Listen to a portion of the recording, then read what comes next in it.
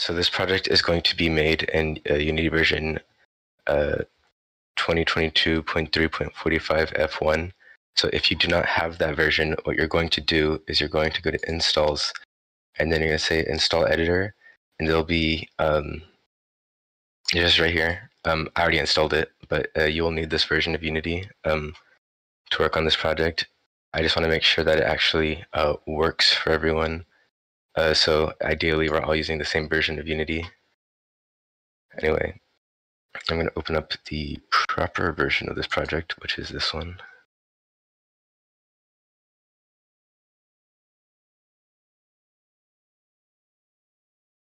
Okay. So I'm just going to start by talking um, about how Unity works. Um, if you guys are not already familiar with Unity, it is probably one of the most popular game engines uh, currently uh, commercially available. I am personally uh, not a person who uses it. I use uh, Unreal Engine instead, and we have a. I know there's also some people who use Godot, but um, this first workshop is going to focus on Unity. So the organization of Unity, uh, if you open up any editor, um, I'm just in this project, but you can open up any fresh project because I think we'll have to make it from scratch, and I'll figure out a way to get this to you guys after the fact if you guys wanted to see what essentially I was working up to. Uh, here in the editor, uh, this right here, it might be in a different place uh, depending on how you have your Unity set up. The layout might be different, but instead, essentially, there are a few critical panes. Um, you'll have a project pane, which looks like this. It might be, it could be anywhere. Uh, mine just happens to be down here. Um, a console pane, which is where you'll see any debug statements or error messages if you have some kind of logical or other error in your code, or if there was an issue like loading something or whatnot. Uh, the project folder just has all of your assets. So it will have um, packages that you've downloaded, any assets such as a uh, materials, meshes, uh, images, and then all your C sharp scripts. The hierarchy pane will actually contain all of the ob- game objects in a scene, and a game object is essentially uh, a Unity object uh, that can access all of the features they built up into it. So it'll support like all their transform uh, information, whether that's uh, rotation, location, scale, quaternions. It will support the uh, it will support um enumerators for making coroutine timers, as well as uh, the start, awake, and um, what's the last one called? Update method. To to start off with, I think I'm, I'm gonna. Have, oh yeah, by the way, if you guys have any questions, like if I'm going too fast or if it's otherwise hard to follow along, um, please feel free to unmute and interrupt me. I'll try to look at the chat every once in a while in case someone says something. But uh, like I said, I was trying to have you guys actually download this whole project, but for some reason it complains about the file path being too long uh, when you unzip it. So I don't know how exactly to um, go around that because, like I said, I don't usually um, distribute um, editor versions of Unity. So anyway, to start, I'm going to ask that you guys create a folder for uh, your a, a, game object, uh, any game object. So I called mine game object folder, but all I need you guys to do is right click hit create and make a folder.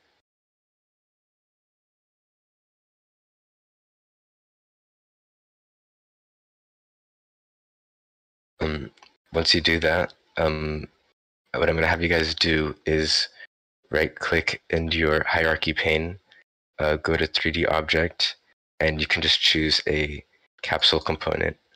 Uh, the name isn't important.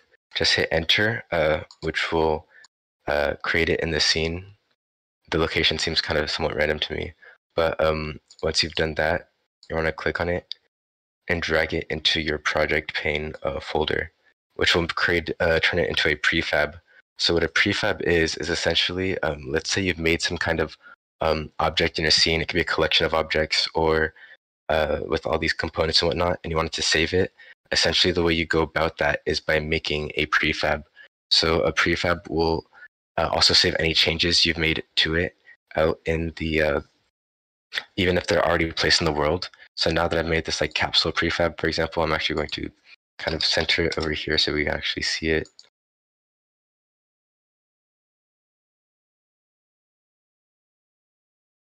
Here it is. So um, if I theoretically wanted to make a change to this, this is not a prefab, this is the actual object. If I want to make a change to this, let's say I wanted to add some uh, script to it, I'm just going to use one of my already made scripts. I like this. You'll see that um, if I actually open up the prefab editor by double clicking it, that's not saved. That's because once you drag a prefab out into the world, it's an instance of the prefab and changes are one direction. So if I make a change here in the prefab editor, it will be reflected on all the existing prefabs uh, out in the scenes. Uh, however, if I make any changes to the prefab I place in the scene that is not reflected in the editor, that's just an individual change to this one prefab. Okay, so um, what I'm gonna have you guys do now is actually make a separate folder, uh, just called scripts. Same way, just right click, create a C sharp script. Um, and you don't have to organize these uh, a lot, but I like to encourage uh, you keep all your stuff organized.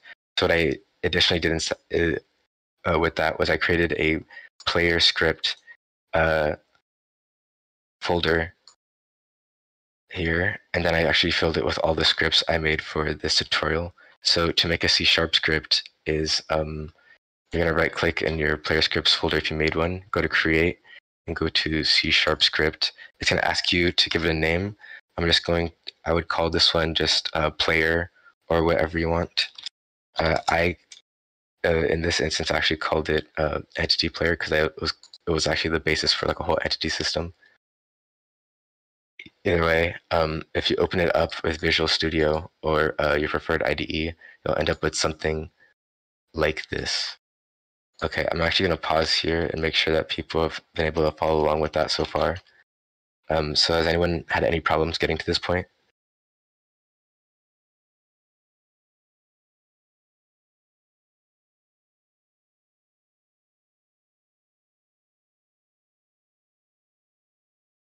I'm going.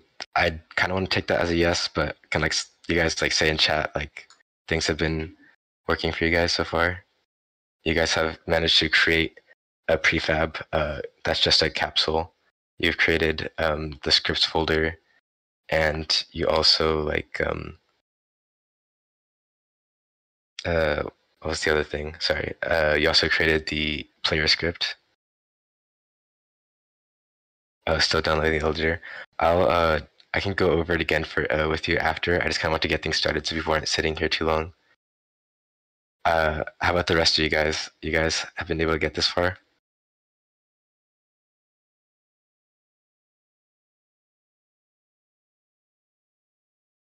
Same as Asian. Okay, so I have a feeling that there's a decent chunk of people here who are still downloading this version of Unity. So I actually might pause here and then make another attempt to get this project uploaded so that there's like that groundwork here for you. So so we're not building it from scratch because it seems like a lot of people still actually need the editor downloaded. Refuses to download. Okay. All right. Nice. Okay. Well not nice but i'm assuming you guys at least have the unity hub right? Like you guys have uh this?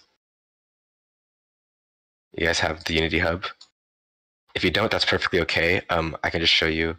Okay. Yeah, and just in case anyone doesn't know, literally, if you just look up like Unity, I'm pretty sure the first thing that shows up is just the download link for the Unity Hub, which is this one right here. When you click it, they're going to ask you to make uh, an account. I'm not going to download this because I already have it. But when you do that, they're going to ask you to make an account. Um, it's just email password. Then they'll ask you to verify. You'll say yes, and you'll have that.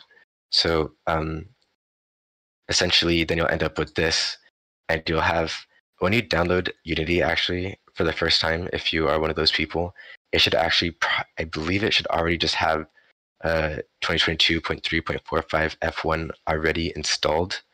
Uh, if not like i said uh, you'll start off in the projects pane go to installs install editor 2022.3.45 f1 and just hit install here.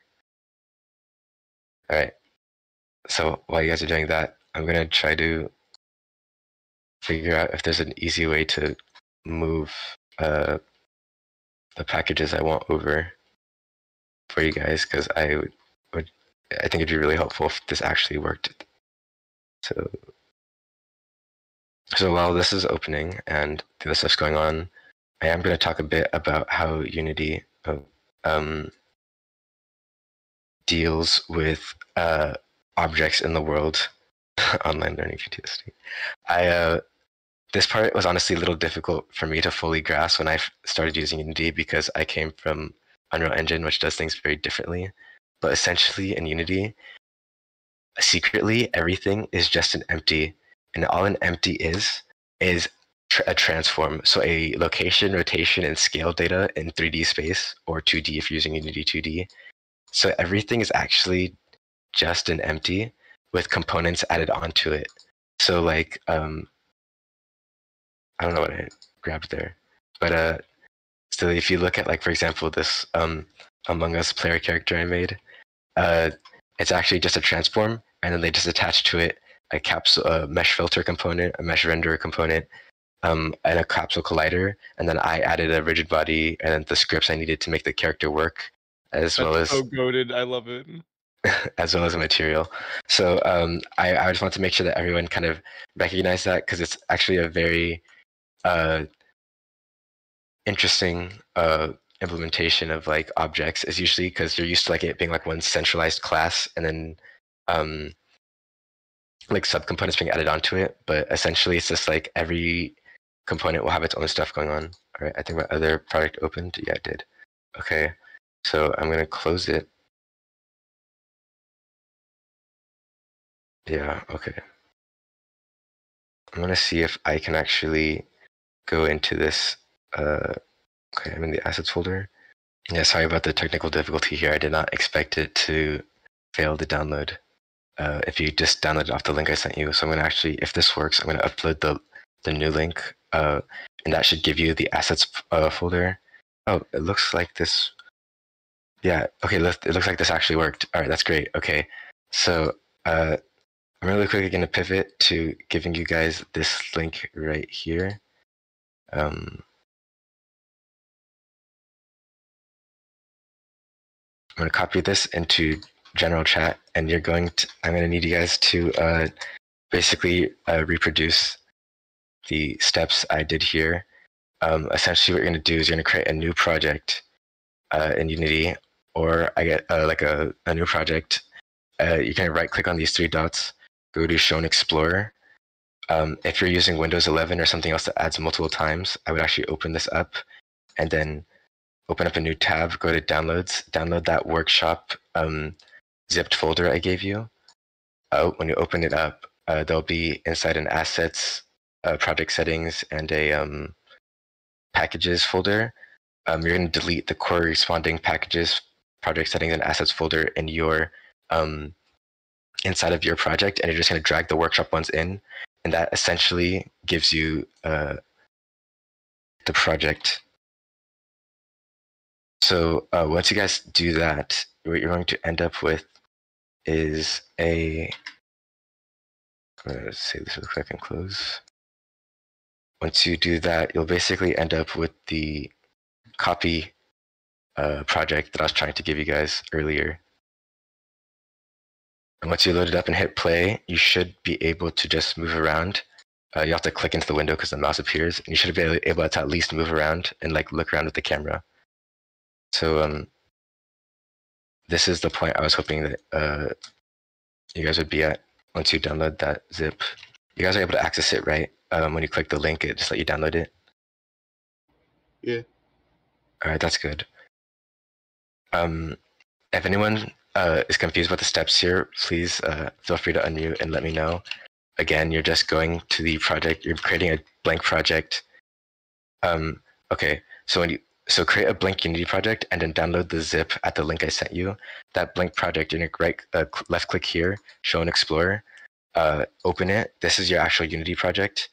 Um, what you're going to need to do is delete project settings, packages, and assets, and then that zip I gave you. Um, you're going to right click it, extract all, and it's going to open up. A, it's going to open up a file, a full, uh, folder uh, once you go in, inside of here will be a um, a corresponding assets, packages, and project settings folder. Uh, just drag it into the project. So you're basically you're replacing the default project assets project settings and packages, with the ones I made for this workshop. Um, it's the alternate. It's the kind of roundabout way of getting you guys to install the project because the actual straight up project um, download I provided for you guys does not seem to be working at the moment because of like a file path issue.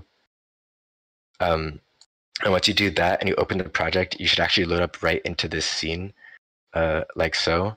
And I was saying if you hit play here, um, you'll be in the version of the project that is missing a, a number of scripts that we're going to uh, really quickly recreate uh, so that your character can uh, jump and shoot and do the other things that I had uh, set up. You should end up right here uh, in this little world.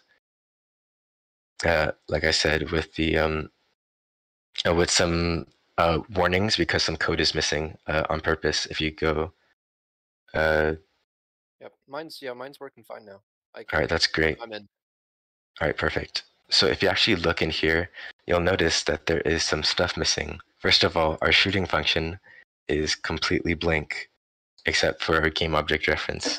And you'll also notice that our jumping doesn't actually do anything just yet. Um, these are the first two things I'm going to have you guys make uh, really quickly before I go on. I'm going to make sure everyone else is here, right? For those who are ready, I'm going to go forward, but I'll loop back around and help you guys who are still um, downloading and having trouble. I just don't want to wait too long to get everything started just so that uh, we're able to at least get a little bit done beyond uh, opening Unity. All right. So for those who have been able to download it, you should be in your playercontroller.cs file.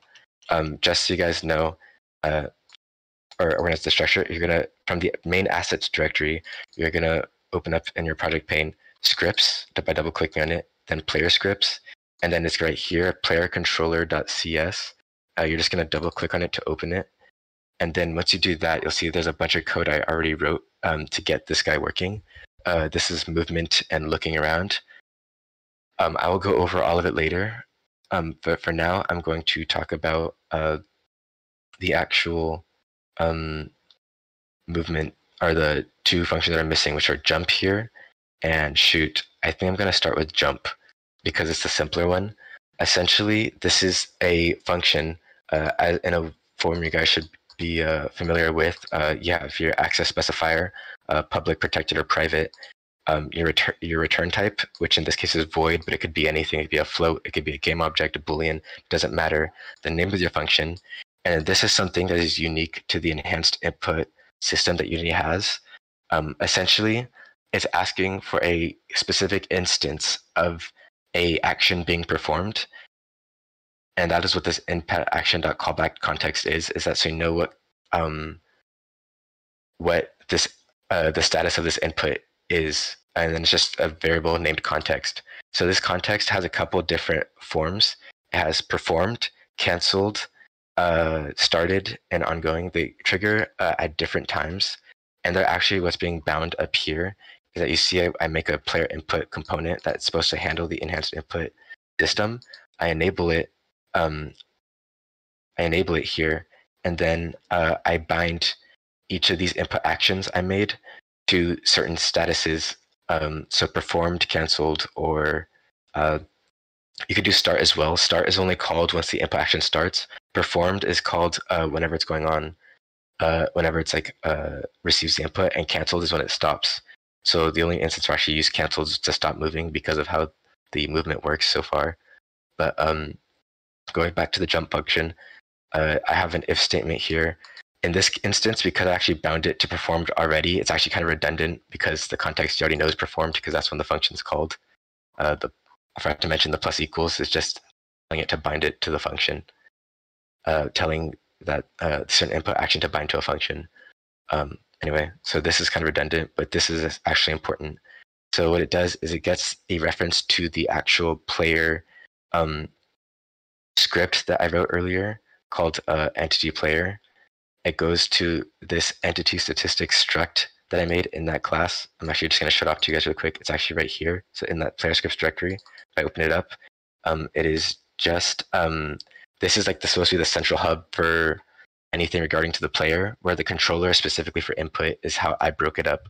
So it has like a reference to the health bar and the entity statistics uh, and all that and stuff.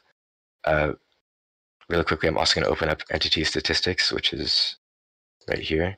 This is just a serialized struct um, that's holding like all the player stats, like how many times can they jump, what's their movement speed, how much health do they have, etc. Essentially, um, it's just this is just a straight up C sharp uh, enum- enumerator. Uh, sorry, uh, C sharp uh, class. What I'm doing by serializing it is allowing the default values to be changed in the editor. So a system that's serializable is something that you can put on certain uh, classes if you want to be able to actually go into the panes uh, and enter and uh, edit the values. So if you notice here, if I go down here to the entity statistics, you'll see um, I can actually change the values, but I don't do it that way. I actually just did it directly um, into in the code. So if you go back to the entity player.cs, you'll see that I directly set them uh, here. So you have 100 health. Um, you can jump twice, and this is just the movement speed uh, coefficient for the character, which can be edited to fit your needs. And going back to the jump function, uh, I actually did take that jump value and I check if it's less than the maximum number of jumps that the character can do. Um, and here's where the implementation comes in. So in the actual cop in the complete version, you can see that um, when I do that, I actually take a reference to the rigid body that I um, specified uh, up here. I just made a public variable and I uh, got the component that has the rigid body um, on this game object that is the player. And I'm accessing that here and I'm calling the add force function for the rigid body. So in Unity, rigid bodies are essentially uh, physics objects that will interact with colliders and collision uh, the way this happens primarily is uh, kind of it's kind of up to you how much you want to interact with it but essentially all you need to know is that this is what allows our character to collide with the ground if i did not have a rigid body um, i wouldn't really have any physics applied to me and i would clip through just about anything um, essentially uh, i'm going to go back to the actual rigid body reference that you guys need to copy into the jump function uh, this rigid body reference, we're just adding a force to it. Um, it's going to be, it's going to expect a vector, as you can see here, and a force mode. So uh, this is a three-dimensional vector, hence vector three. It's going to have the three components x, y, and z. Um, for those not familiar with C sharp, um, the sense this is like a an object, you need to instantiate it with a new keyword. You can also pass in a vector directly, but I'm not trying to reference any existing vector. I want to create a new one because this is uh, for how high we jump. So I create a new vector three. I don't want to move. I don't want to move to the left, to the right, up or down, or sorry, I don't want to move like side to side in any um, orthogonal way. I just want to move straight up. So in Unity, uh, the y-axis is actually the up axis. So x is uh, up and down. Uh, is uh, if you take an object here, you can see x is like left and right, and Z is back and forward, and then Y is up, the green one. So we're trying to move up on that Y axis. And um, that is uh, what this vector is telling us. And the force mode is just how is, how is this force being um, applied. You can say used impulse, but there's other options. Um, there's like acceleration, uh, velocity change, and whatnot. I'm to make this, uh, I'm gonna return this that.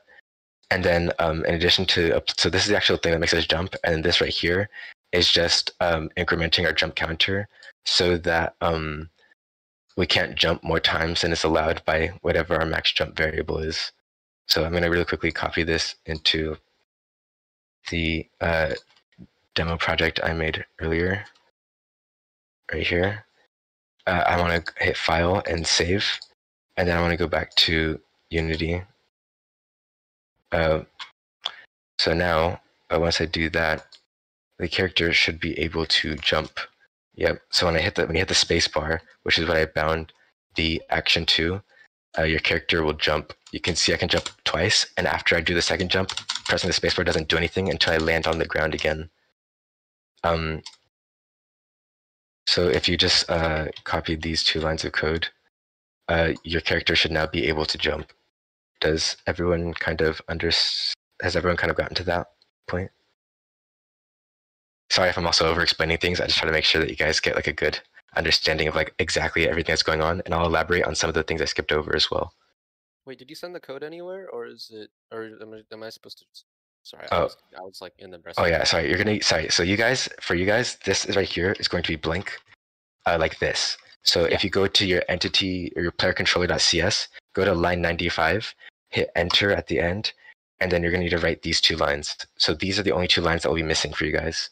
So you're gonna type in rigid body reference, um, dot add force, um, and then the two parameters you're passing in is a new vector, um, that has a force that's just like a up vector uh, that has a, a magnitude of 60 and then a impulse force mode and then you're going to increment the jump counter because if you did not increment the jump counter if, for, if you for example didn't do anything or you decremented it it would never hit like the it would never uh, reach the jump count max and so you'd be able to jump infinitely i could actually show that to you guys in a moment once i f- think people have had uh, sufficient time to copy this code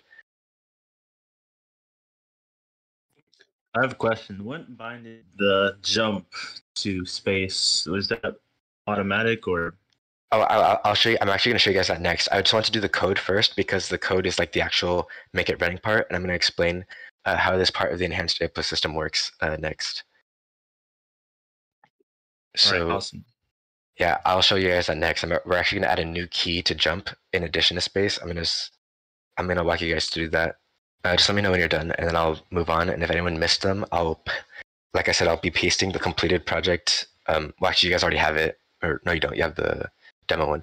I'll be posting the completed project shortly after the workshop, and I'll also go back and help people individually um, after I've kind of gone through a bit more information. Uh, make sure you got it. You guys also want to make sure you save this because if you don't actually save it, it's not going to recompile, and then it's not going to apply the changes. So once you save it, you should be good. All right. So going back to Unity, actually should close the game. I'm actually surprised that let me do that. All right. Um, so we got a question about how the input works. So uh, this is Unity has essentially two input systems. The first one I'll really quickly show off in actually that same script that we were just in. Um, it is the old system, which was a direct binding to um, certain uh, inputs that were hard, like hard coded in. So it's actually what I use to control the camera at the moment because um, I wanted to show off both systems. So I made a variable called control rotation appear in the global scope. So uh, I guess before I clarify that as well, if you declare a variable in a function here, like this movement uh, vector, for example, this is a local variable that will actually stop existing uh, once you leave the scope of these uh, brackets here. If you want um, your your uh, variable to exist along as long as the object exists, it needs to go outside of those functions, but inside the class. I usually put them all at the top because if you just spread them out like in between functions, it'd look a little weird and you might miss them. So I just put them at the top. That's how I get a reference to the rigid body and stuff. Um, and if you want to be able to access it from the Unity editor, usually it has to be public so you can actually modify it. Otherwise, it's not visible. So this is the input system and so on and so forth. Uh, the one I wanted to show you guys right here is this string, uh, mouse X and mouse Y. So in the old system for Unity that Unity had for movement, or sorry, for input, um, essentially what you'd do is you'd call input.getAxis, and then you type in a hard-coded string like jump or or um, mouse X or mouse Y, whatever, and then that would be how it um, that would be how it uh, figured out like which key you pressed, and then you'd also and then you'd do your calculations on top of that to do whatever you wanted the that button press to do. Um, it was very basic, so it means that you had to do everything else. So um, to kind of explain how look works really quickly using the old system, I have this uh, control rotation two-dimensional vector. I basically have a player settings um, struct that can hold that holds your look speed x and uh, look speed y, so that you can customize them to fit however you want it. Um, so and on the x side of the vector, I bind the mouse x. On the y side, I bind mouse y, and then I just clamp the y between 90 and negative 90, so that when you're looking up and down, um, it does not go further. It does not go further than uh, 90 degrees in either direction. uh, from the out from the forward because otherwise you'd be able to flip the camera over. I'll show that in a second. Um, after I go through kind of explaining the rest. And then here's just uh, two quaternions. You don't really have to worry about this part.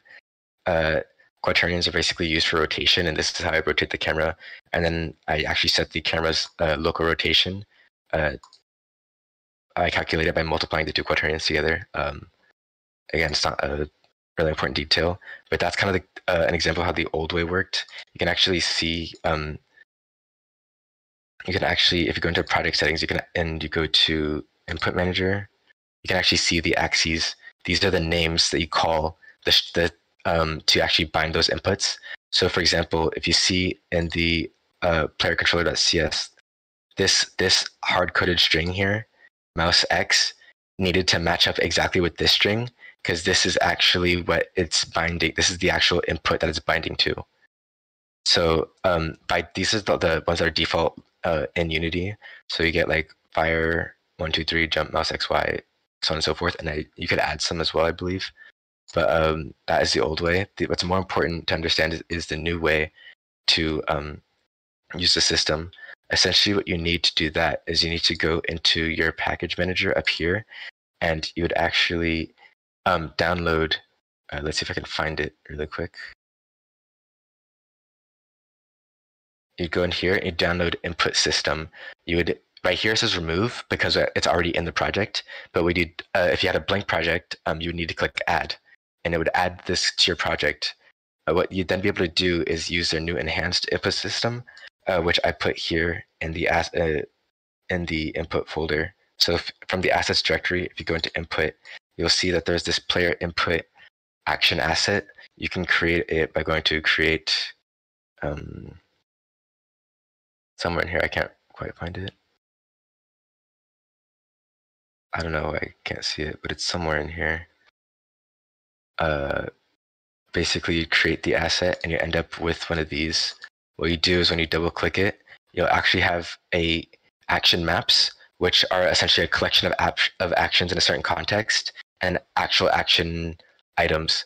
So if you notice um, when we were binding these to the function here, there's this dot player part that matches up with this. So what an action map is, like I said, is a collection of inputs. So if I want to make a new action map and call it whatever, and I can assign a bunch of actions to it that do things. Um, if I want to access these, then I would type in instead of player, I type in that random string I made right here because um, we're trying to access certain action contexts, and then from there access very specific input mappings, and then bind those to functions. That's essentially like the workflow um, for the new system. Uh,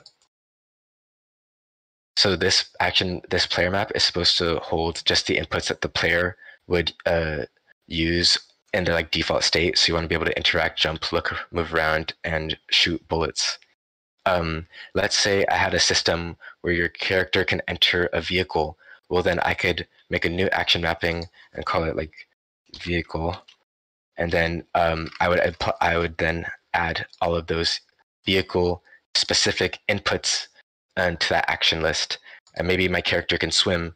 So um, when they can swim, they shouldn't be able to shoot or interact with things or jump. They can only look and move and maybe do some other stuff. So then if I want to do that, I'd make a swim action mapping and then apply actions. So um, you asked specifically where the jump is. Essentially, I just created an action mapping um, called jump. And uh, the bindings, as you can see down here, is just the keys you want it bound to. So actually, uh, if you go to path, I actually bound it to. You have all the button. You have all like the input keys you could ask for. Um, I bound it to keyboard spacebar, and that is actually how the input action is received. But let's say you wanted to also be able to jump with, um, I don't know. Let's say X. Oh, that's probably a bad way to do it. You want to go to keyboard uh, let's go X. So now, um, once you do that, you need to click Save Asset to make sure it actually works. Um, and now if I were to theoretically uh, push X, it should actually let me. Yeah, so now, now, now I can just jump with the X key. and that is kind of the point of the whole new system is that instead of hard coding specific keys to call specific functions you make bindings uh, you configure them how you want and then you save them so that you can assign a bunch of different buttons to uh, different actions and move them around so it's not like um, it's just much more flexible. So like let's say i had like need to support gamepad and vr and stuff i could also mind uh, bind gamepad keys uh, as well as other things to these functions so that the system works um, with uh, all those new inputs and it's, it's much less of a hassle. It's like a bit to set up but um, once it gets set up it's much more powerful than the old system. So by doing that um, like i said you're able to just bind uh, create bindings however you want to new keys. Um, on the, under the hood what it's doing is it's adding those bindings to this really complicated file. I it, i would not recommend um, modifying this directly. I would just let the input um, asset uh, do all the modifications for you because uh, yeah, it's kind of technical. I don't understand it personally, but um, that is essentially how that part works. Uh, all right, so moving on. Uh, if we go back into your uh, player controller script, we're also going to add the code for shooting a, a bullet. So if you go into your player controller and go down to shoot, you'll see that line 102, we have a game object reference that's a reference to the projectile, but that doesn't do anything just yet. So what I'm what you're going to need to do is add um, and a few lines of code to actually do something. So kind of to, to go over the workflow is I already have the shoot bound to left click uh, using that enhanced input system. So when the left clicked uh, input action is performed, this function that is bound to it up above uh, with the rest of the bindings gets called with the context, and it's going to create a reference to a game object that is currently not set. So what we're going to want to do is then set it to a reference to an actual um, instance of a game object. So here the here's the code for that. Essentially, what I'm doing here is when you want to inst- when you have a prefab in Unity, another useful thing you can do with them is instantiate um, um, copies of that prefab that I made. So essentially, I made a prefab bullet, and I am uh, assigning using that reference to kind of copy instances of that prefab um, with a, a certain location and rotation data, and then I'm able to manipulate it and, uh, as a independent object. So um,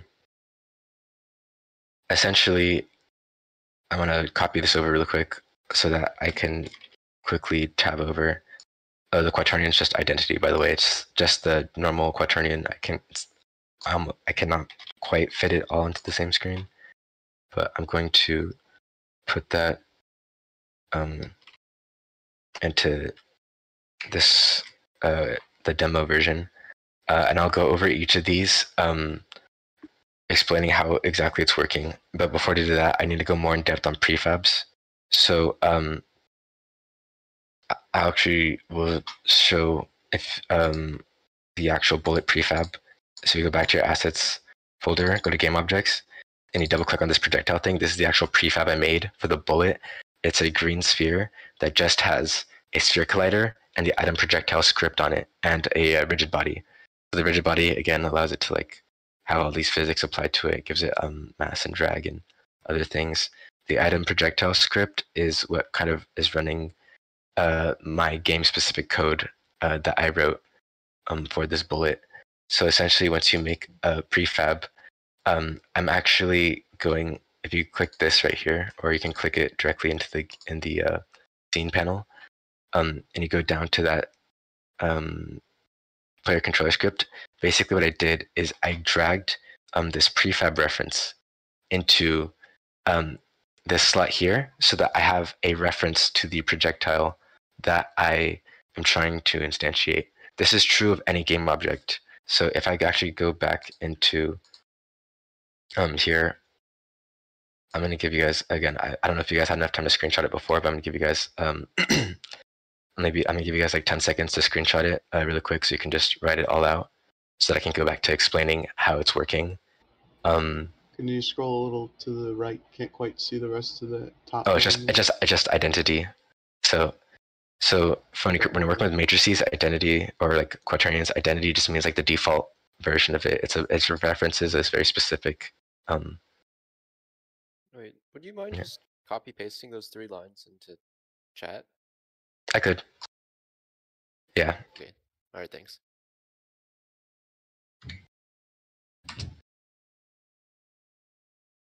I was thinking about doing that, but I wasn't sure if the if if it would if it uh, work properly because sometimes um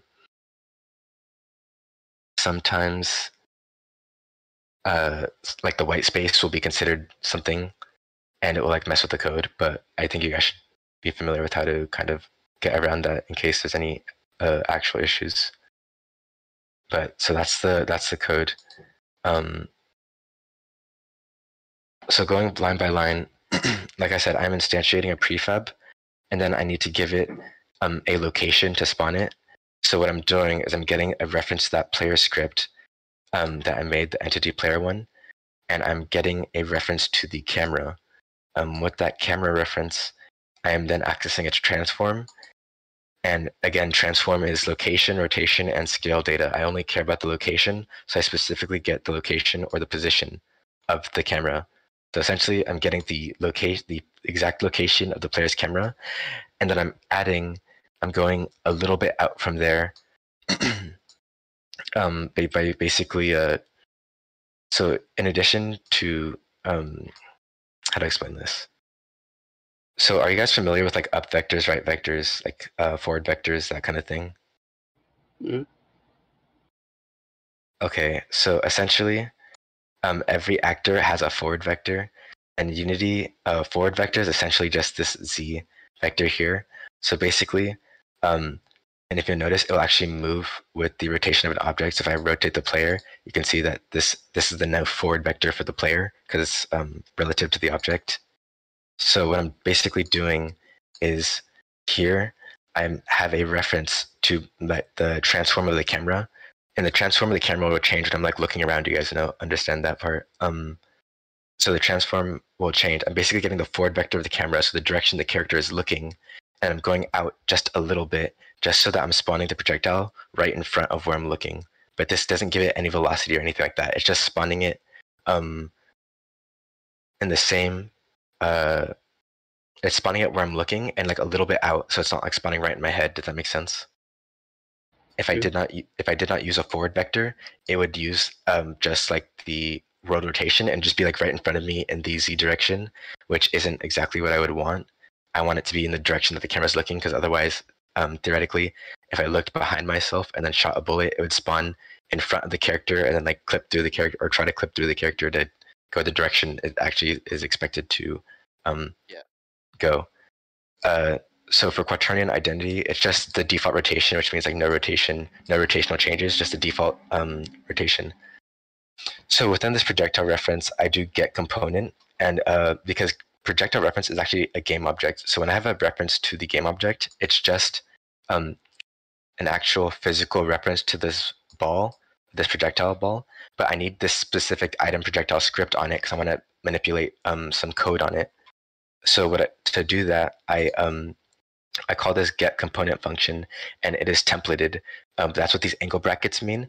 Um, when you call, when you call a templated function and you pass in a class, it means that it's going to try to essentially cast.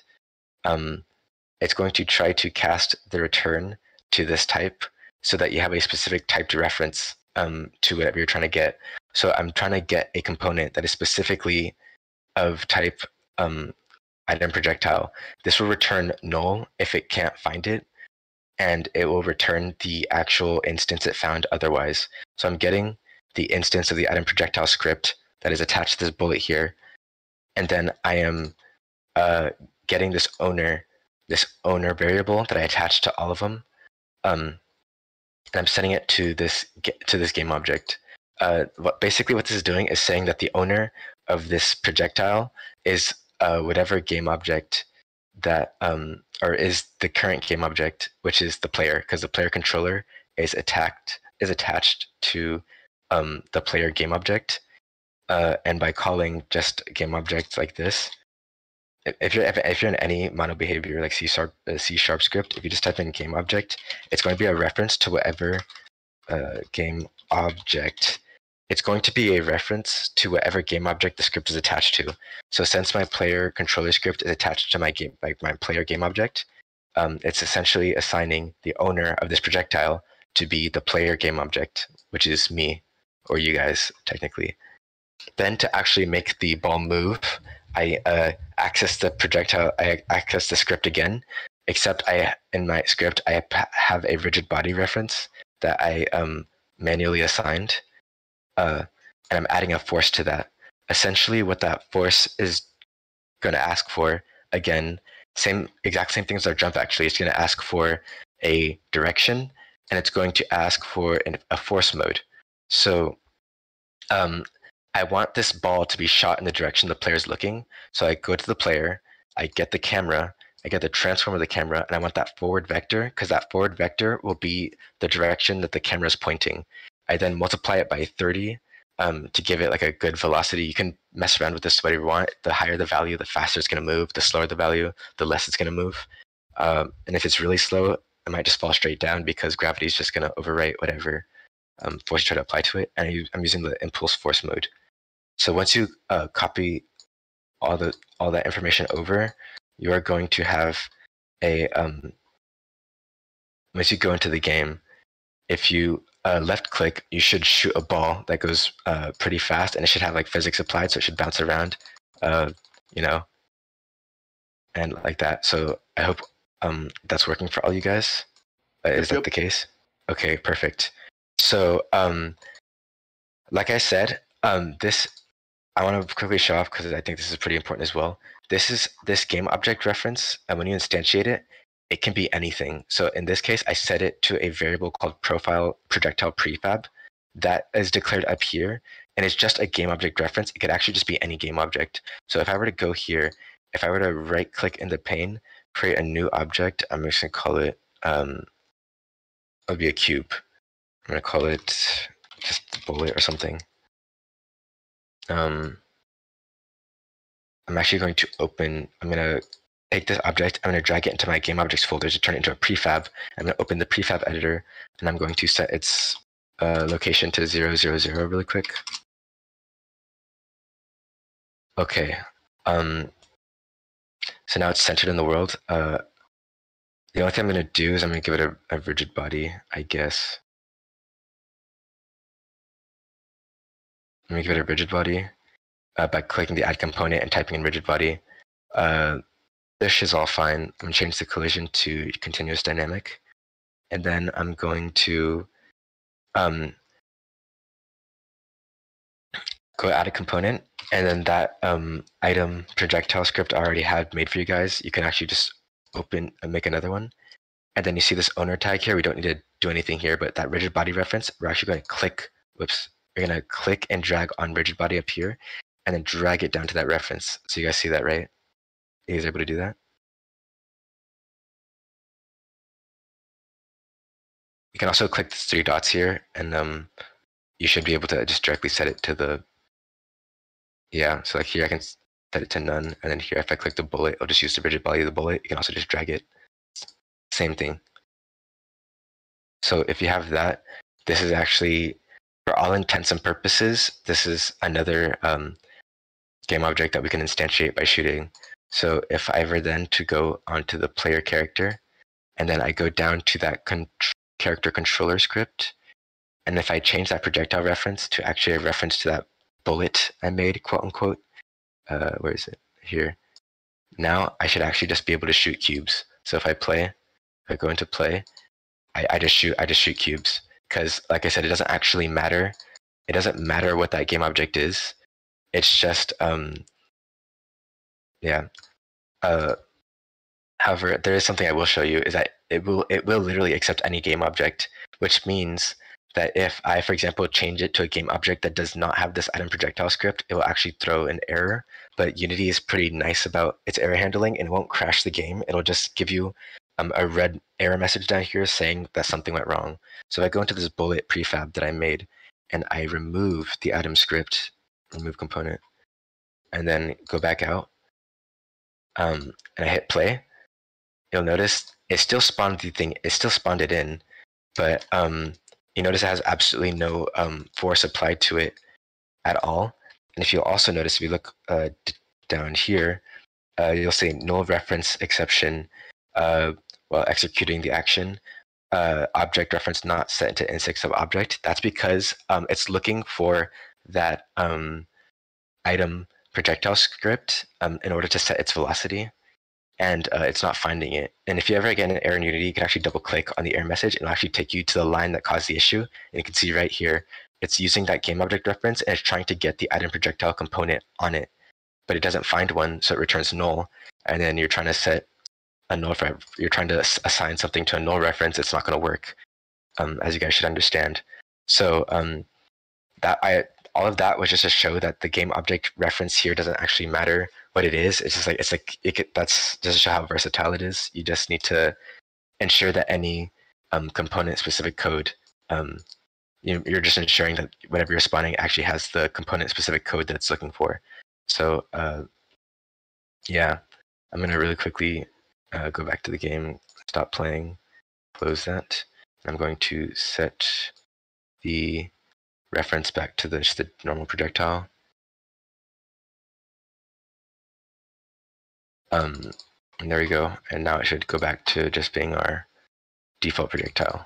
So now that we have jumping and movement set up, uh, you you guys will probably see this big uh, button-like thing that I uh, made.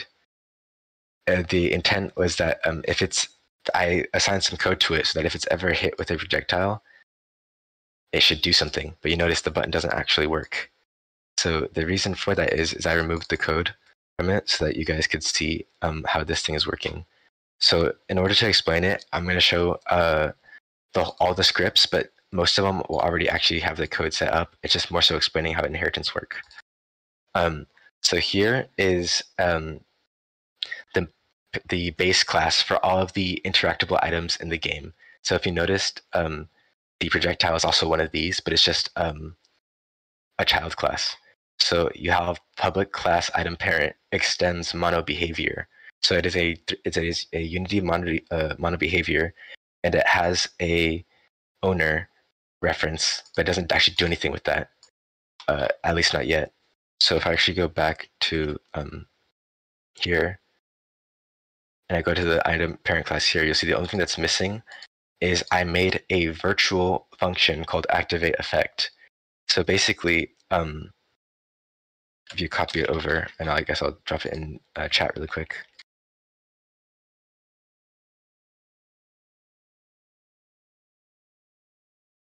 Uh, I, I'm going to add it back over here.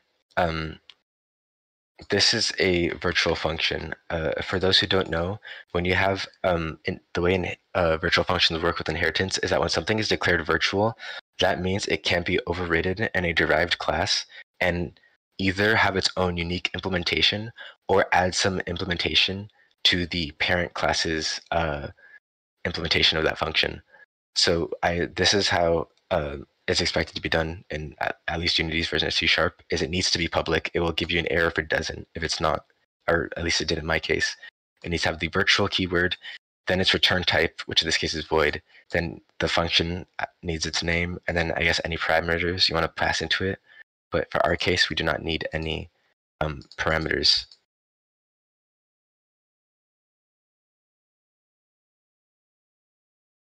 All right. So from there, uh, the actual button class should be completely set up if I, oh, I did remove something. So um, here in the button class, essentially, it's notice it is extending item parent. Um, all it adds is one variable called linked object, um, and it has a collision uh, function attached to it. So here you can see uh, void on collision enter is uh, Unity's uh, one of one of Unity's uh, ways of handling collision. Basically, it says that when something collides with it, it will generate a collision class um, instance. In this case, I called it collision event. You can call it whatever you want, but this is basically saying that an object has collided with the um, collider attached to whatever the script is attached to. So something like bumped into this object or this object bumped into something.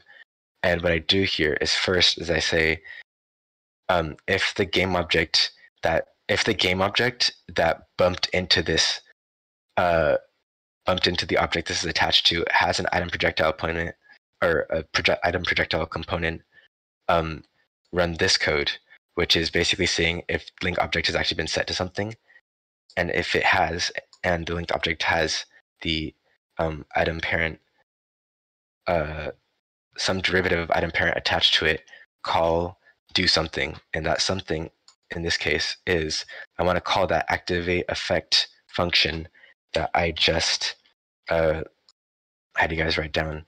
So go here. And then I'm going to paste it into not this version, but this version. And now it's going to call that activate effect. So basically what this does is it allows the button, anything attached to the, effectively any button can now um, call that activate effect script um, on an on a uh, item that it's linked to. Uh, I guess it's easier to understand if it's demonstrated, but essentially, um, when you set this game object reference to another item and something bumps into this and a projectile that gets shot out is um, attached to it, it'll basically call the activate effect um, function on whatever you uh, whatever game object you set this to.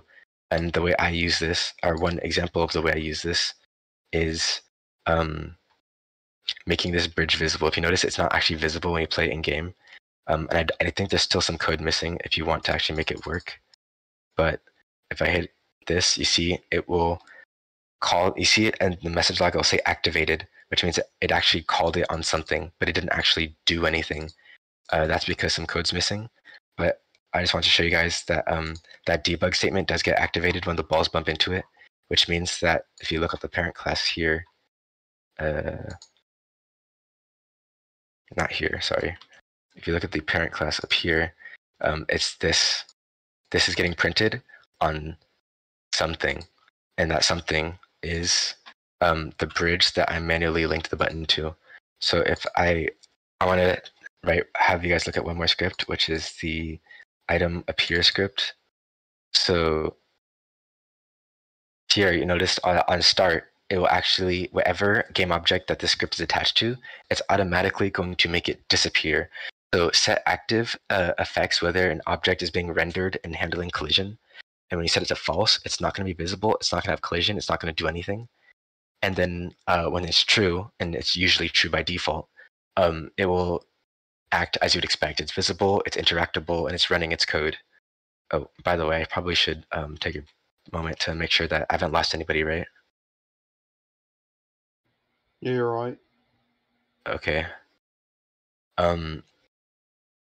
So if I go here, um, I actually override. I now override that um activate effect function that I wrote in the parent class.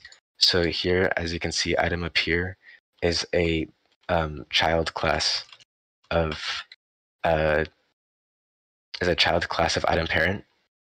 And remember that this item button class is going to any uh, anything that interacts with it. It will call that function on it if it's bound to it. I should phrase that better, but um, it'll be easier once I uh, actually just write the code and uh, show it to you guys.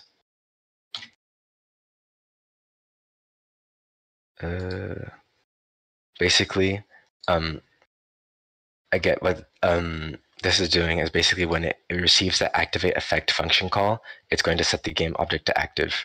So how does this work? Well, if you take a look at this bridge I made, I actually attached this item appear script to it. And all it's going to do is when its activate effect it gets called, it's going to set its um, self its own active state to true. And that's and it well, that will make it appear. So if you actually look on the button here, you know that linked object variable I set or that I had declared um, right here. Um, you you're gonna go in, the actual Unity editor. You can actually set it to any object that has this item appear script on it, and you can uh, just drag it in. So if you see here, it's gonna highlight this ramp extra long one. Um, if I actually clear the reference here to none, uh, all you have to do is go to that ramp extra long one and set it right here by dragging it in.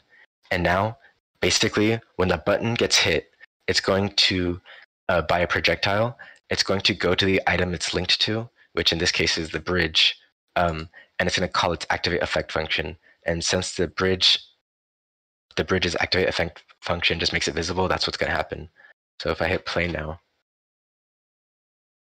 um, and I just like spam, try to hit the button at some point, you see at the moment it gets hit, the bridge will appear, and you're actually able to like uh, walk on it and interact with it.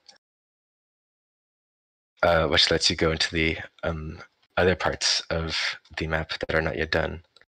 So um, have you guys, have you guys been able to complete that?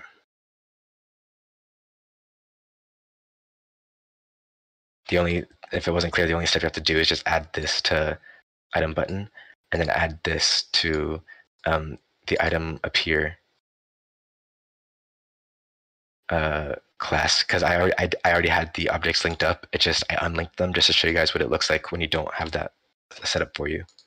Oh, make sure you're you're not playing the game, right? So like if you're in the game, make sure you stop play and you go back to scene view and that game view is not active, um, just to make sure that uh it can like actually compile because it's not going to compile and work while you're playing the game. So make sure that you close the uh, stop play and then uh, make sure that it, ha- it compiles that, and then um, it should work because I believe that's the only things we added to make this work. So um, the next thing you know is you have these cannons, but they don't actually do anything. So uh, you're going to want to go into your assets, scripts, um, item scripts. You'll see it's completely empty. Um, essentially, uh, the only code I believe I added to this was oh a lot apparently. So let's break this up. So first we're going to want to declare what variables we need. So I'm going to paste these in chat and then also paste them here. So we're going to start off with these four variables. So okay, we have a we, we made the cannon prefab, right? So we have a we defined a spawn point Actually, probably show this off on the actual prefab. So if you go to the cannon prefab, ball cannon, you'll see that it's, it's just made of three things. There's um, an empty transform that's just like showing the whole object. You have the barrel of the cannon that's just a cylinder that's hollow. Inside of that, you have a spawn point um, that's right here. Uh, you can click on it. It's empty. It's just supposed to be the point where the balls spawn. And then we have a base, which is just a cube, uh, just so it's not just like a floating barrel with no actual like cannon part. Um, so we have um, in that script attached to it, we have we need a reference to like what is this cannon going to shoot? Okay, so we need a game object reference to that. Um, I just called it projectile prefab because we're going to be shooting a projectile as a cannon. Um, then we need a reference to the location where this projectile is going to be spawned at. I call it spawn point. Um, then we're going to want a a float defined for the cooldown of this uh, shooting, we don't want it to shoot continuously, right? Or only shoot once and then never shoot again. That would be both of those would be problematic. And then just for the point of customization, we also have a float for saying how hard is this projectile getting shot. So um, in the start method, which is again one of Unity's uh, predefined functions uh, that you can invoke, this gets called before it starts um, doing the update um, loop so this code is only run one time as opposed to the update loops running update loops running every frame. So on the start, it's gonna it's gonna give you an error at first because we haven't wrote, uh, defined the function yet. We're gonna start a coroutine, which is basically kind of like a timer that runs in the background um, in Unity. So uh, is we're calling the shoot using the coroutine. We're gonna call the shoot cooldown function um, given using that cooldown float we made to define the length of the shooting cooldown, uh, since we're able to actually modify this. Um, so it's going to have a red squiggly line because we haven't actually pasted the function in yet. So uh, if I go back over here and add in the shoot function, it's right here. We have uh, under start. I'm just gonna paste it in, I'm gonna give it to you guys as well. Um, we have a new function. This one's not a void function. It returns a type of IEnumerator, and that is an interface um, that Unity uses for um, timers. Then there's just the name of the function, which is shoot cooldown, and it's going to expect a cooldown. And right here, this is the function. This is the line of code you need when working with IEnumerators. It tells you how long is um, how long is the timer essentially. So you type in exactly yield return new wait for seconds and then how long to wait. In this case, the time we wait is the cooldown length, uh, which we specify up here. And then once that's done, you want to call the shoot projectile, uh, the shoot function um, that has the parameter projectile force, which is how hard it's going to shoot that projectile. Um, I pasted the last code, right? Yeah, okay. Um, and right here, we have our shoot function.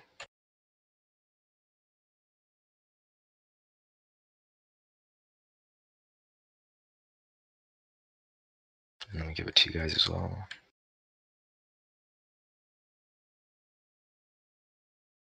So in our shoot function, again, we're passing in the projectile force. We're going to make a game object reference that is a reference to a specific projectile instance that we want to instantiate or to like instantiate and reference. Um, so we're going to do the same thing we did with the with the with the character shooting, except the only difference is the location it's being spawned at. So we're going to, that projectile reference we just made, we're going to call the instantiate function to instantiate a prefab that is of type the projectile prefab that we just assigned. As you see when I highlight it here, it's referencing this up here. So whatever projectile prefab you assign to it is a projectile prefab it's going to shoot. Then the spawn point is going to be um, the uh, we're going to get the spawn point, and that transform position is going to be the location it's going to be spawned at. So if I actually open up the prefab again, um, you'll notice on the ball cannon item cannon script, uh, you see the projectile prefab is none and the spawn point is none. Um, the projectile prefab is just going to be uh, the projectile prefab we have defined for the player. Uh, so if you go into game objects, projectile, well, first of all, uh, click ball cannon like this, and you're gonna drag the projectile prefab right here, um, so that we're referencing that projectile prefab now. So now that this reference is set, this value, this uh, variable is now referencing that prefab. And now we need to do the same thing for spawn point. So we're going to go to that spawn point thing we made, uh, spawn point empty. We're going to click it and drag it into the spawn point here. So now that spawn point variable we made in the code is referencing that spawn point.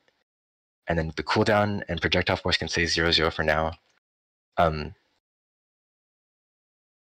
so now basically what it's doing is responding that prefab at that at the spawn point's position uh, with no rotation change applied to it. So it's the default rotation. Then we're going to get its item projectile script and set the owner to this cannon. In this, so we're calling that we're using that same game object reference, but this time we're not in the player script. We're in the item cannon script that's attached to the cannon. So the game object is going to be referencing the cannon.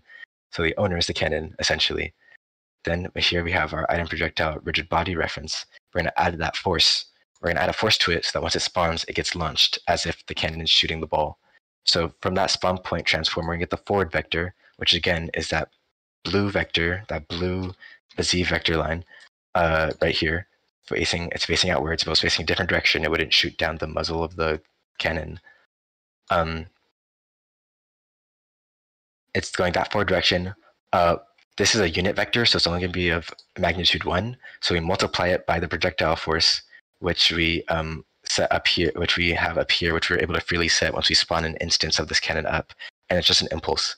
Then we start that coroutine yet again. You see it's the same line of code. Um, we start, we uh, basically wait another uh, period of time of linked cooldown before we shoot again. So essentially, the loop goes like this. When the cannon spawns the world, it's not going to shoot right away. It's actually going to engage its cooldown.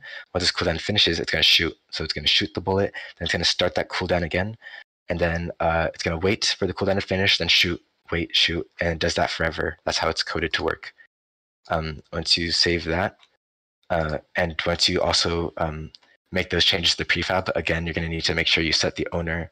Oh, the owner, uh, you don't have to set the ball cannon. Um, it's helpful if you do for the damage system, but it's not necessary. Uh, projectile prefab does need to be set to projectile, and the spawn point does need to be set to spawn point.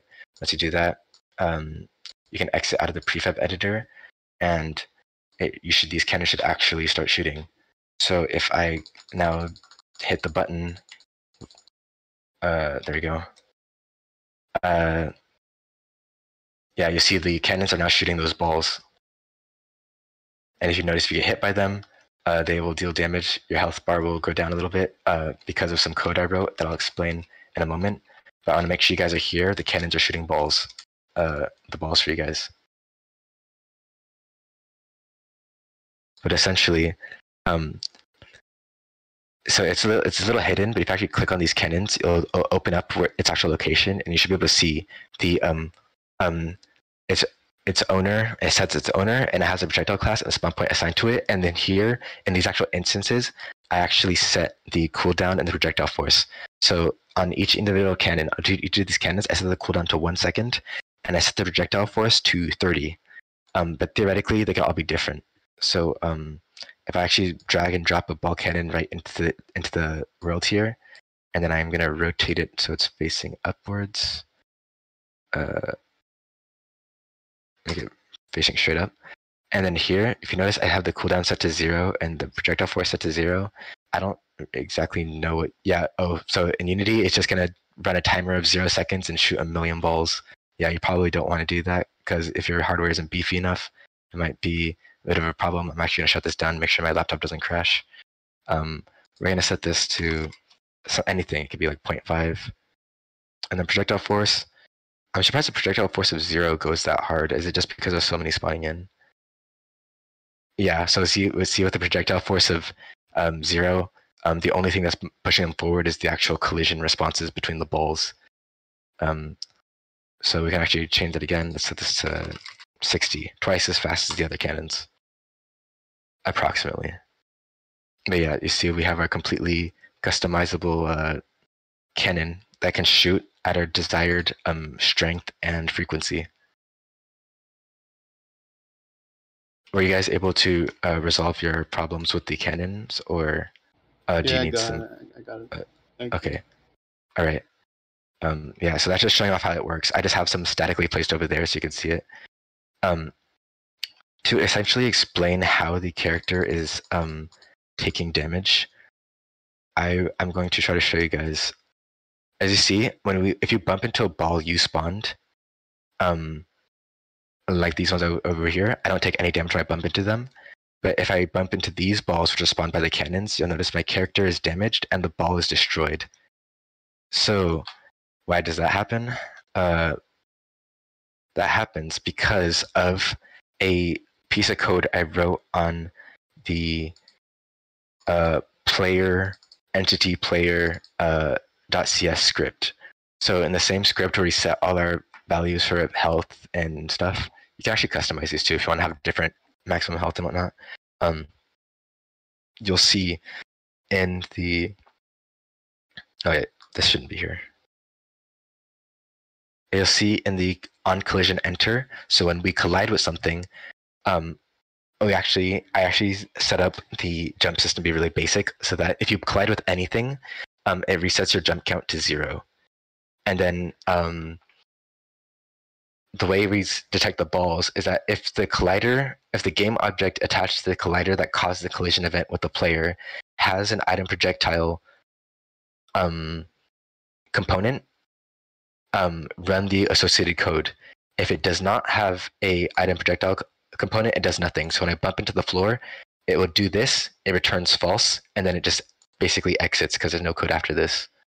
Um, so if it is a projectile, however, um, if its if its owner is different from the current game object, so if the owner of the projectile is not the current game object, and remember the current game object is the player. So essentially, if the ball, if the originator of the ball is not the player, um, destroy the ball, deduct 10 points of health um, from my current health, uh, clamp it between zero and um, my maximum health so that the my HP is never bel lower than zero or higher than the ma- my maximum health.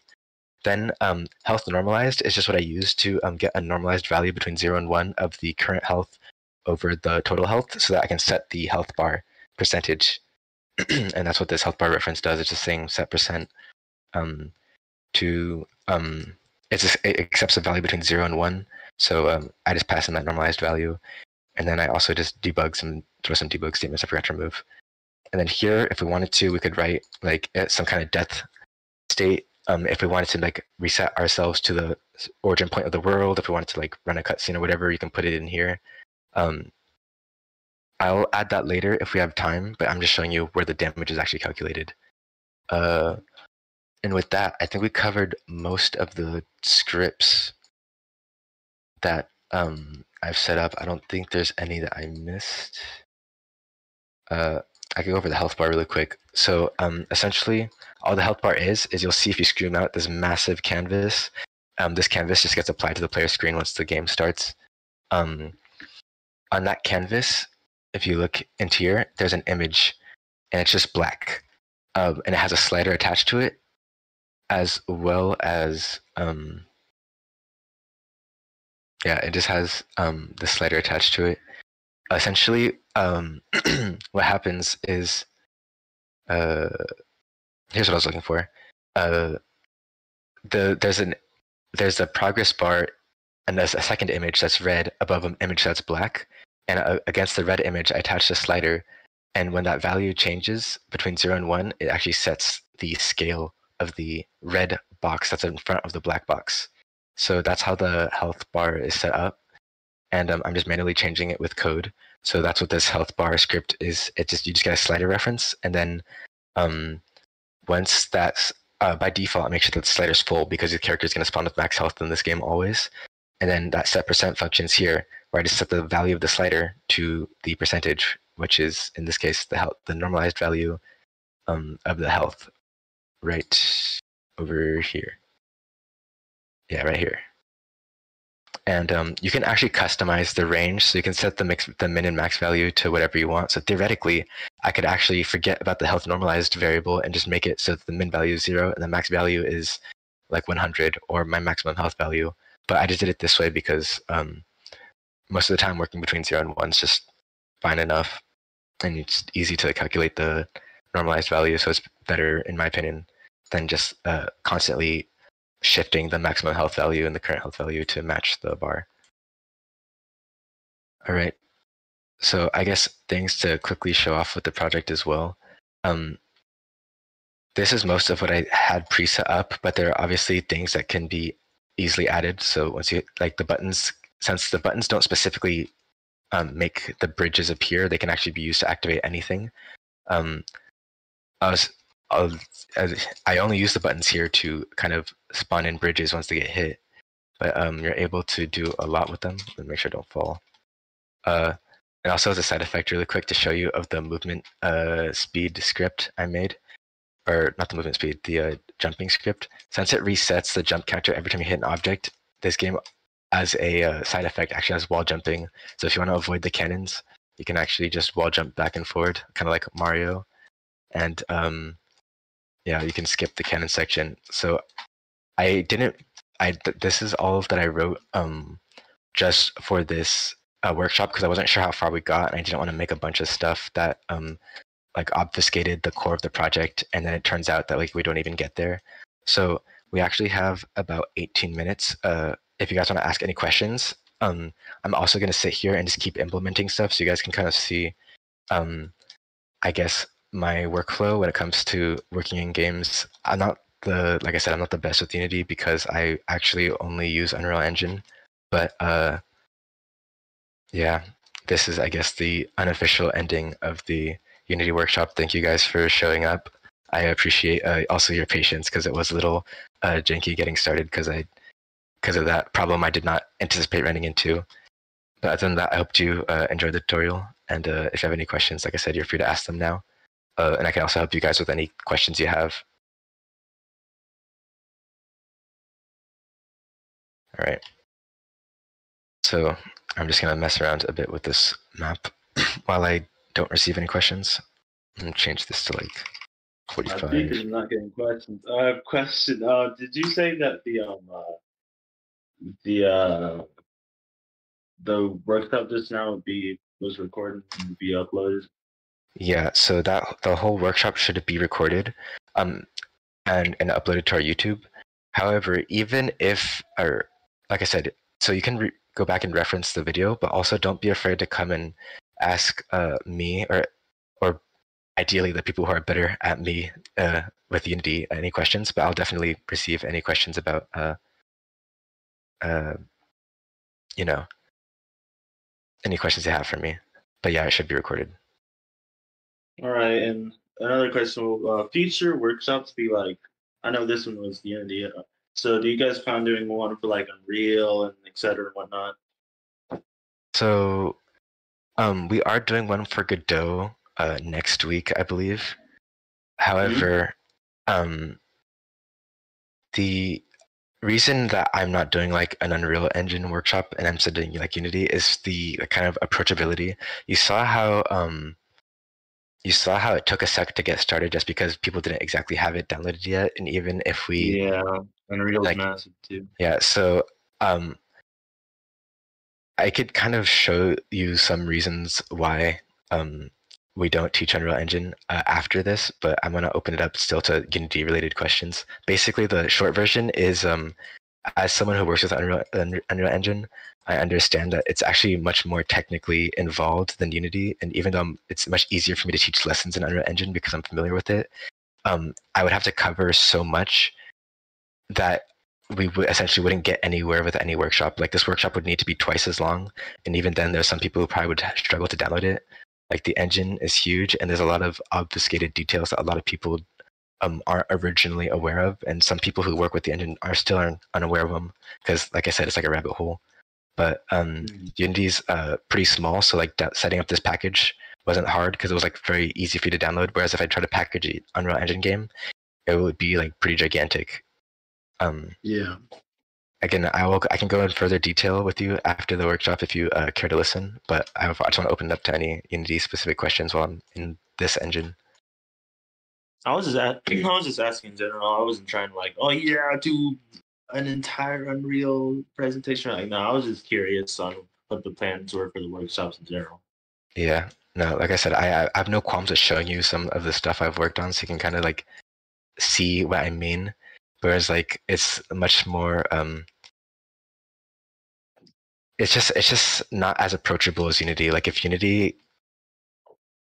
uh, like I, I guess the easiest way to describe it is I would it'd be much better for people to get like a solid grasp on Unity than to get like a beginner's understanding of Unreal Engine and not really be able to do much of anything with it. Because the the reason we do these workshops to begin with is that for those who want to join a game pitch but don't feel confident in like getting started, I suppose it Unity and Godot are beginner engines enough that um they can at least approach um helping out with coding and stuff if they want to.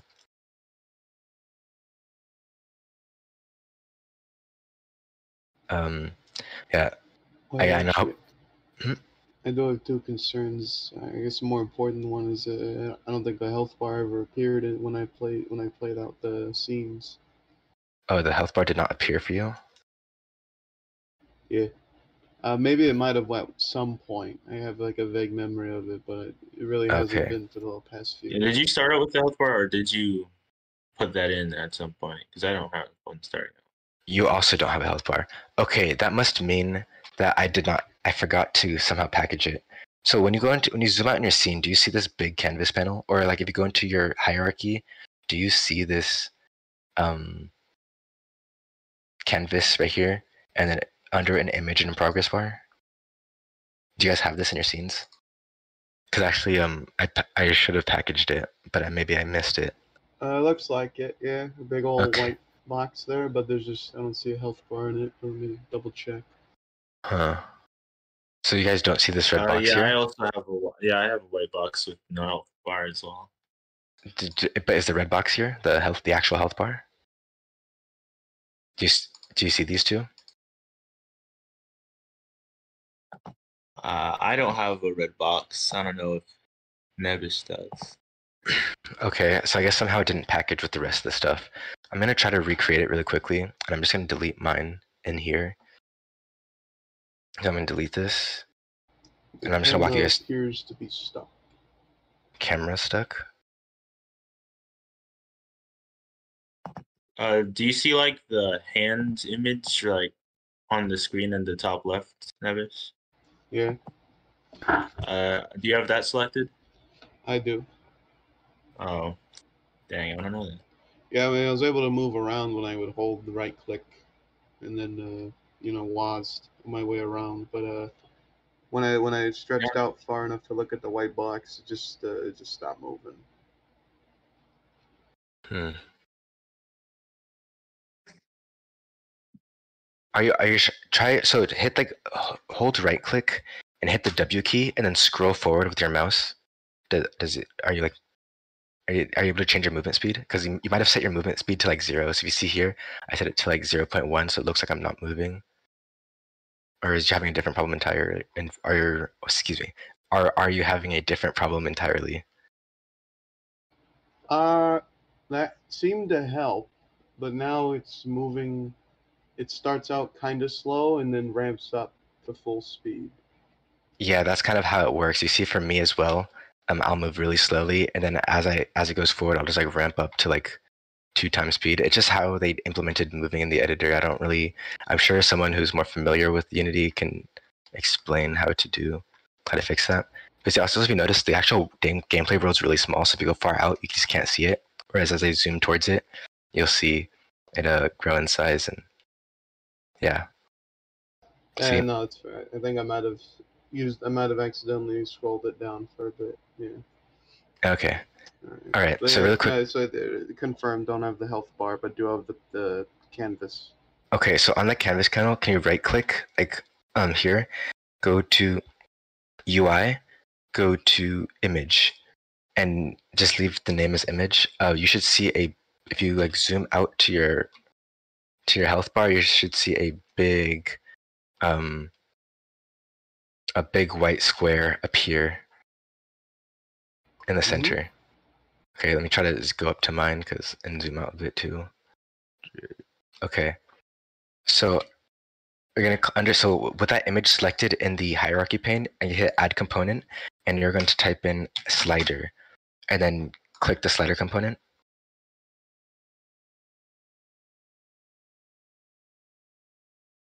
Um, once you have that, go to transition here, click from color tint, set it to none. So the transition should be none. Then with navigation, it should be set to automatic, but change that to none. So transition should be none, navigation should be none. Do you have that? Might have lost the add component button there. Okay, so scroll scroll down. Um, so you see Ah, if, yeah, if you that- yeah, scroll yeah. down, hit add component, and then type in SLI, and slider should appear.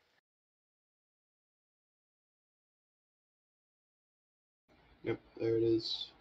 Okay, nice. Um, then transition, click the drop down menu, select none, and then for navigation, select the drop down menu and select none. All right. All right, nice. Okay, so um, what I'm gonna have you do really quickly, uh, you might want to change the height to like 50 or something, so that's like approximately bi-shaped. You can mess around with the values. I'm gonna set it to like 10. No, I'm gonna set it to like 25.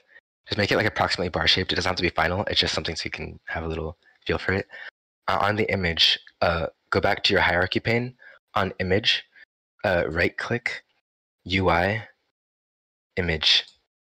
And then this one we're gonna call progress bar, or at least that's what I'm gonna call it. I'm sorry, what'd you do there? You went to image. So so on, on the on the image that we already created, right click UI, create another image, call it something that's not image, like progress bar or whatever you want. Oh, there it is. It just happened. Okay. Oh, that's Wow. interesting. Actually, that our Wow. the was it progress bar was already in my image, but it was called image until I made a new image called image, which then renamed itself to progress bar. Okay, so something got weird with Unity. So it, you're, it looks sounds like the health bar was there, but it was like funky. Yeah. Yeah, same with Yeah.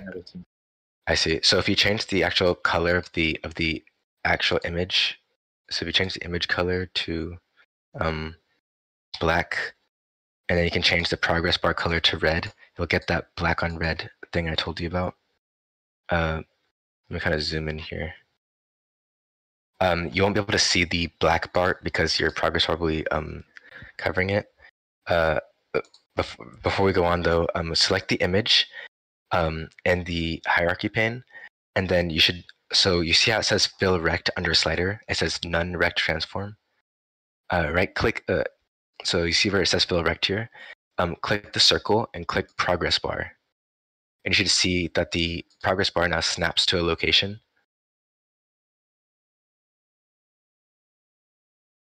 Uh, are you guys at this step right here?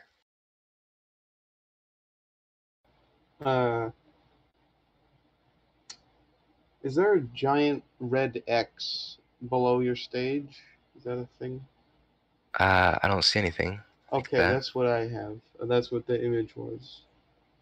Okay, that's interesting. But do you have a red square and with a black square slash rectangle? I'll have to get that up. I'll, I'll cook that up real quick. Okay. Yeah, all we did was make a second image that's a child of that original image, and I called mine progress bar. Then I clicked the image, I scrolled down to the slider. Under the fill rect section, I clicked the circle and I selected the progress bar that we just made. That um, I colored them different colors just so they're easily visible. If you leave them as both white, it might be hard to see. I changed the background to black and the front of the health bar to red because health bars are usually red.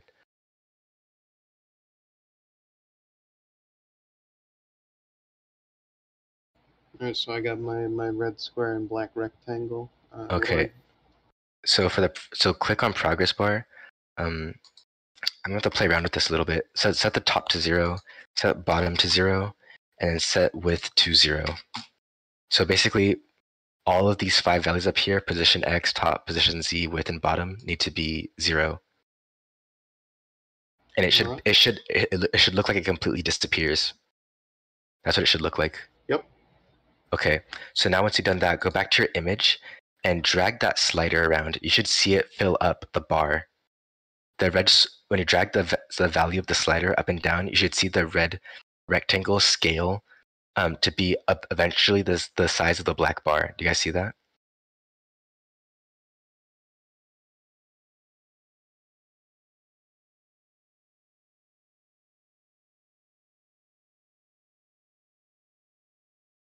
Uh, let's see. I don't think I have that uh, slider there, or that tool, the tool you're using. Okay, no, so so when you go to slider, make sure you scroll all the way down. It should be the last thing in the slider component section. It should just, it should just say value, and you should be able to like change the value. You see here? I have a, a, is a error message here. Specify a rect transform for the slider fill or the slider handle or both. Parent rect. Oh, okay. Did you did, you- did you set fill rect to your progress bar? I did not. All right, I gotta do that.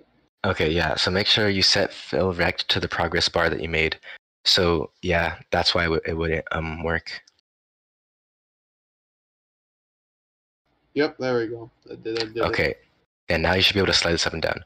Okay, while you're on here, um, right click, um, add component, click add component, and then just type in health, and then that health bar script that we wrote should be down here. Yep. Okay, so now um, on that slider reference, click your image. Uh, click the slider reference on the image. So you, you, you can do it two ways. You can hit the circle here and hit image, or you can go to slider and like drag and drop it here. Either way, we'll get a reference to the image. Okay. Once you do that, if you actually hit play, you'll notice that the health bar will just be centered on wherever wherever it is with respect to the canvas. So, but if you notice, it will um. I missed something. What did I miss? Oh yeah, that's what I missed. Okay. Uh, so once you hit play, you'll notice that the health bar is wherever you placed it in the canvas. You guys see that? So for me, it's in the center of the screen. So we gotta put it in the corner. Yeah, so you can put it wherever you want. I'm just going to drag mine to the lower left-hand corner. So select image in the hierarchy, and then use the red arrow and the green arrow to position it down. And then if you want to scale it, what you want to do is you're going to go to the rect tool here and you're going to just drag the corner and move it to kind of be whatever shape you want, you see? Or whatever rectangle dimension you want. So I'm Ah, So yeah, and then once you once you're done with the rect tool, I would go back to using the move tool or the hand, the view tool. Either one of those, I'd set it to that just so that you're back at um, the normal way of interacting with Unity. As you can see, the bar is now on the bottom left of my screen. Um, however, you notice if I actually run into a ball that's not mine, um, I'll get a red error message. That's because we now need to set the health bar reference in onto our uh, character. So if you fly up over to your character, um, it will be called torso in the scene uh, hierarchy pane, but you could also just click on it. Um, you're going to scroll down to entity player, and that health bar reference, you're going to um, click the circle and select image. oh, look at that. And then uh, if you dropped, if you find some uh, balls that you did not spawn in, then some balls that were spawned in by like a cannon or something, and I, I placed one right here. Once you bump into it, it should get destroyed, and your health should decrease by 10.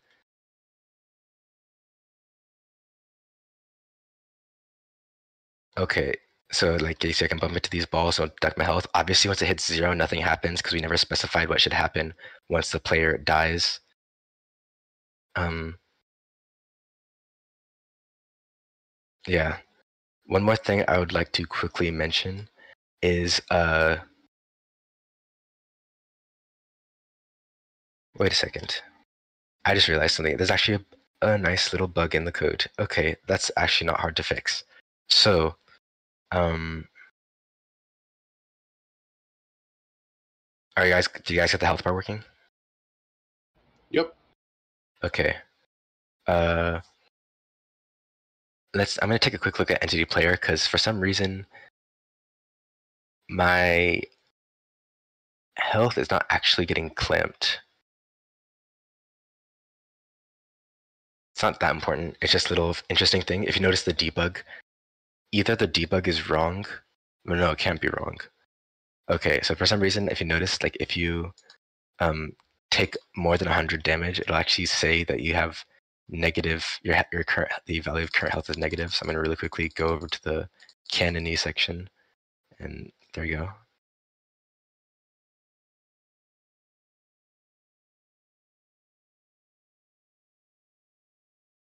That was weird. Okay, deliberately get shot.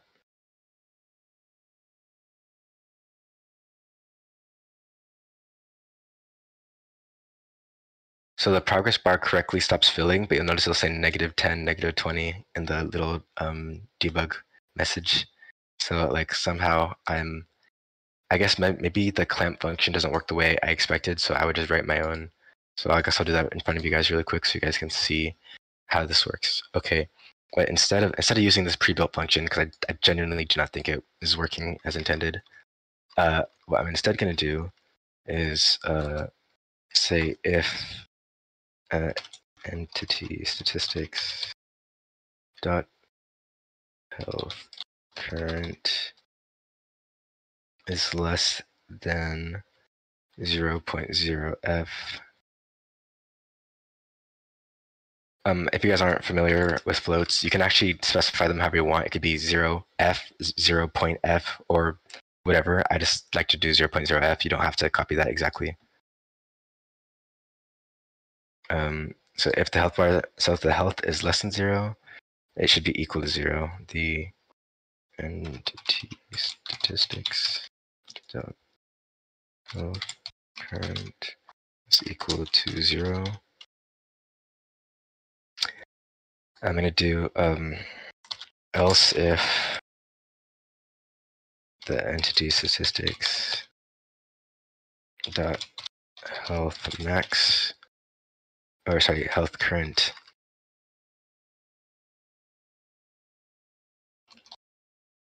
is greater than uh, health max so entity statistics dot health max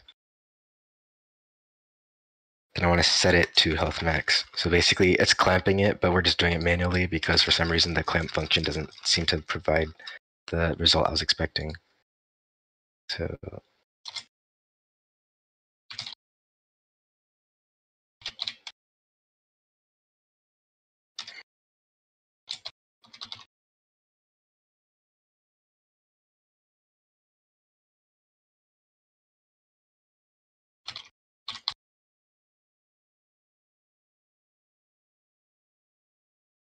I cannot type today.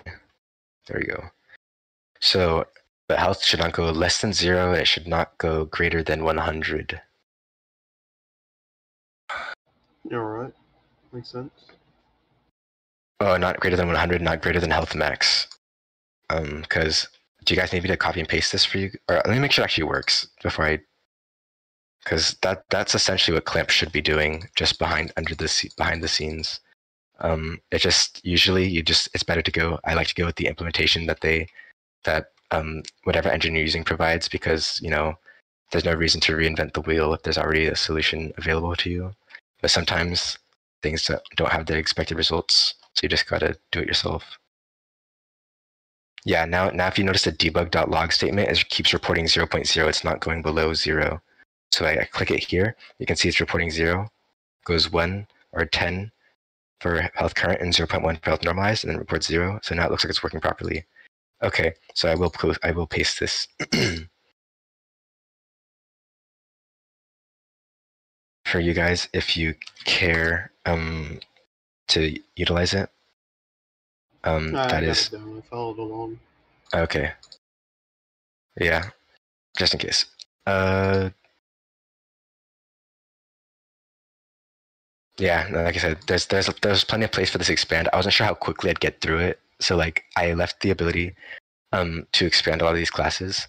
So like item appear, you can put on theoretically anything, um, and what and uh whatnot. Uh, if you care to if you care to see that happen, I don't mind doing that for you. But it is technically the end of our workshop, so if you want to go do other things, that is perfectly understandable. Like I said, I'm I'm open uh, now. Either it could end here, or I can continue on if you want to just experience more things like live as opposed to like pre-made.